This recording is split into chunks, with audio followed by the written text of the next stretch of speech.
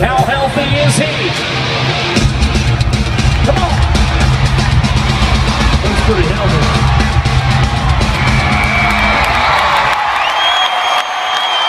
Oh,